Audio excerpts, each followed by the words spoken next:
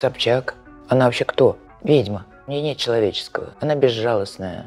Она не любит никого. Ни страну, ни людей. Любит себя. Пользуется теми, кто боготворит еще пока. Ну, зрители, люди, я не знаю, где она же ведет тоже какие-то те посиделки, корпоративы. Она провокатор. Она провоцирует так, что потом человек не поднимется, кто не знает ее возможности. Притом она, знаешь, вот дьявол в обличии, ну, ангела я не скажу, но милой девушки. Красивой, умной, доброжелательной. Но она дьявол.